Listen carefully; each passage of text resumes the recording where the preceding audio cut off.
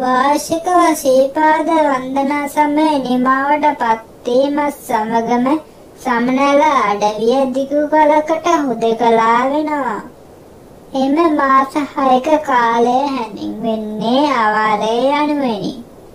ශීපාද වන්දනා වාරයේ නිමාවට පත්වීම සහිතුවන් වන්නේ ශීපාද උඩමළුවේ තැන්පත් කර තිබෙන සදාතුක කරඬුව සුමන සමන් දෙවියන්ගේ සදුම්මුහ ප්‍රතිමාව ඇතුළු පූජා වස්තුන් චෛත්‍යානුකූල සමන්ගිරින් පහළට වැඩම කරවීම සමගයි. ශීපාද වන්දනා සමය ආරම්භ කිරීමේදී සුවිශේෂී වත් පිළිවෙත් රැසක් වෙනවා. වන්දනා වාරයේ නිමාවට පත්වන්නේද එවැනිම සුවිශේෂ චාරිත්‍ර වාර්ත රසක් ඉටු කිරීමෙන් පසුවයි. ශීපස්ථානයේ හා ඊට සම්බන්ධ කටයුතු සියල්ල වන්නේ ශීපස්ථානාධිපති හිමියන්ගේ අනුශාසනා පරිදි උඩමළුවේ බාලකාර හිමියන් හා තේවා බාල හිමිවරුන්ගේ මූලිකත්වයෙනි. මේ හැරුණු කොට උඩමළුවේ රාජකාරී ඉටු කරන රාජකාරී වලින් 15 දෙනෙකු පමණද මේ කටයුතු සඳහා සහභාගී වෙනවා. සෑම වසරකම වෙසක් පුන් පොහොය නිමාවට පත්වෙද්දී ශීපස්ථානාධිපති න්‍යායමිය වන්දනාවාරය අවසන් කිරීම සඳහා උඩමළුවට වැඩම කරනවා. වෙසක් පොහෝ දිනයට පසු දින අලියම් කාලයේ ශීපාද නායමියන් ප්‍රධාන මා සංඝරත්නය ශීපාද පත්මය අසලට වැඩම කරනවා. එහිදී විශේෂ ගිලන්පත පුද්ද පූජාවක් පවත්වනවා. ඉන්පසු උඩමළුවේ සමන් දේවාලයට විශේෂ පූජාවක් පැවැත්වෙනවා. මේ අවස්ථාව වන්දනා වාරය තුල උඩමළුවේ සිදුවන අවසන් ආගමික කටයුත්තයි.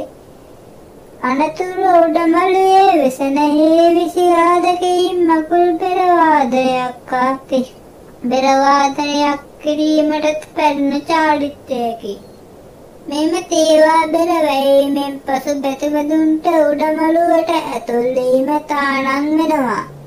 අනතුරුව ශ්‍රීපාද නාහිමියන් ප්‍රධාන මා සංඝරත්නය සෙත් පිරිත් දේශනාවක් පවත්වද්දී උඩමළුවේ කප මහත්තරුන් හා රාජකාරිකරුවෝ වන්දනා වාරයේ නිමාවට පත් කිරීමේ චාරිත්‍ර වාර්තා ඉටු කිරීමට පෙළ ගැසෙනවා.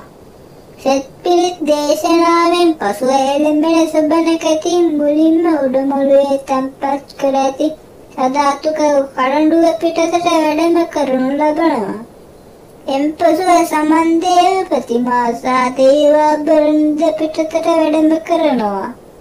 ශීපාද පත්මයට ඉහළින් ඉදි කර තිබෙන රම්පියස්සේ කොත්වාසේ දෙනබද ඉන්පසු මෙම ස්ථාන වලින් ඉවත් කරනවා. ශීපාද පත්මය සුවඳ පැයින් දෝණය කරනු ලබන්නේ ඉන්පසුයි.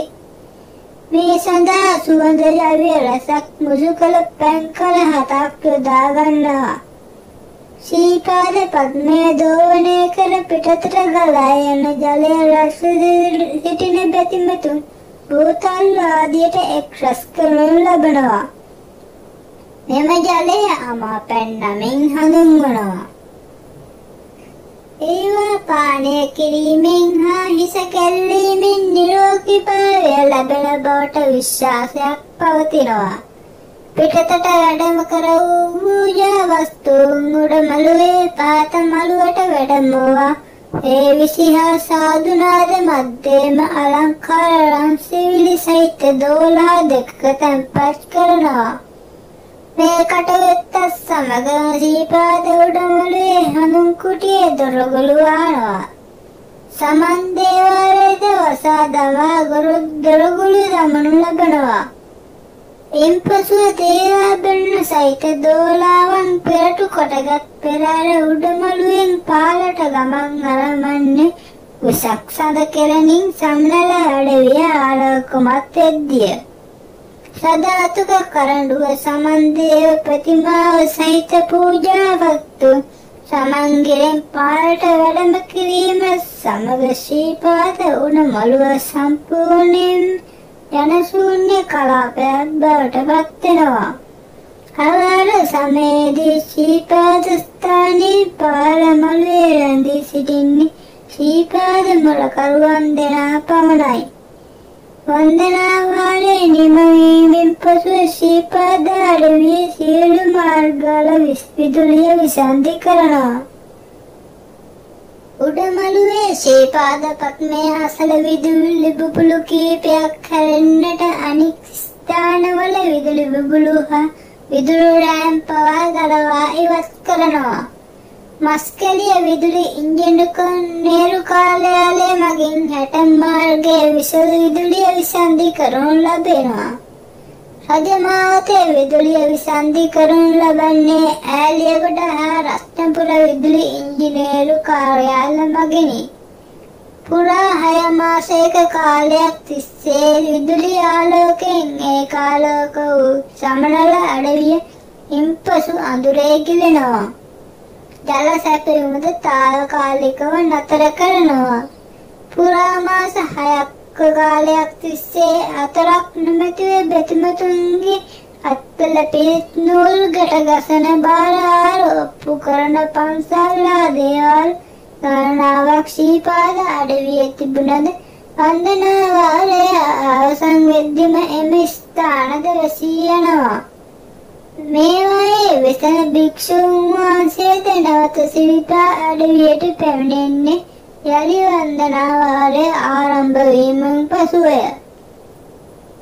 සිරිපා වන්දනා සමය නිමාවට පත්වීම සමග සිරිපා අඩවිය කෙලවීමක් කරගන්නා පිරිසක්ද වෙති. ඒ වනසතුන්ය. මාස 6ක පමණ කාලයක් පැතිමතුන්ගෙන් හා වෙළඳන්ගෙන් පිරී පවතින සමල අඩවියේ වෙතන සතුන්ට උපරිම නිදහස ලැබෙන්නේ ආවාර සමය එළඹීමත් සමගයි. සීපාද අඩවිය පිළිබඳ අචල භක්තියෙන් පසු ගැමි බෞද්ධයා අවාර සමය අඳුන්වන්නේ සතා සිව්පාවා සිජිපතුල වඳින කාලය ලෙසයි. සමන්ගිරට අධිපති සුමන සමන් දෙවියන්ගේ වාහනය වන සුදු යතා ශ්‍රීපාද පත්මය වන්දනා කරන්නේ අවාර සමය එළඹීමත් සමගයි. එදා ගැමියන් අවාර සමයේදී සම්ලල අඩවියට නොපැමිණියේ මේ කාලය තුළදී වගවලසුන්සා සතා සිව්පාවුම් මෙන්ම විසකුරු සර්පයින්ද බවලෝ සැසන්නයිනි. වන්දනා සමයේදී පමණක් නොව අවාර සමයේදීද දාදොළොස්වතාවක් ශීපදස්ථානි වෙත ගමන් කරන ඒ ආරක්ෂා පිළිඳ සොයා බැලීම වර්තමාන ශීපදස්ථානාධිපති බෙංගමුවේ ධම්මදින්න නාහිමියන්ගේ සිරිතය.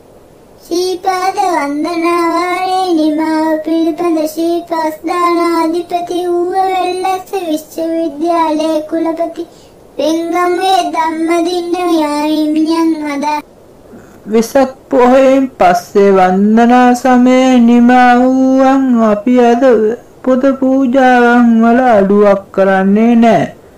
අවාර මාස හයේදීම ගලේ පැවැත්තාවල පන්සලේදීම තේවාව සිදු කරනවා. ඊට අමතරව පසළොස්වක පෝයට ශීපාද උඩුබලේ වතාවත් කරනවා. අවාර කාලයේදී තමයි උඩමළුවේ හා ගමන් මාර්ගවල සංවර්ධන කටයුතු පටන් ගන්නේ. ප්‍රතිබතුන් නැති නිසා ඉදිරිම් කරන්න පහසුයි. අවාර සමයේදී සමනල අඩවිය තුළ පාරිසරික වෙනස්කම් බොහොමයි. වන සතුන් බහුලයි. ඒ වගේම වචනයෙන් කියන්න බැරි අදෘශ්‍යමාන බලවේග රසක් මේ කාලේ ක්‍රියාත්මක වෙනවා. අධික වර්ෂාව අකුණු ගැසීම් සුළං කෝල්ඩ මීදුම වගේ පරිසරික වෙනස්කම් මේ කාලය තුල වෙනවා.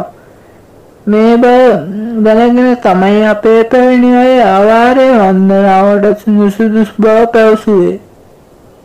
අපිට ස්වභාධර්මයට එරෙහිව යන්න බෑ. ඊට යටත් විය යුතුයි.